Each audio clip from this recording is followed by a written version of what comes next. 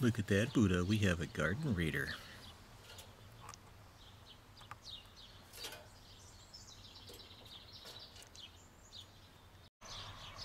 So Buddha's pretty interested in that little critter.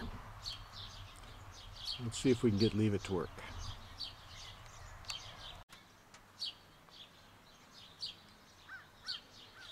Leave it. What a good boy. What a good boy. Perfect job, buddy.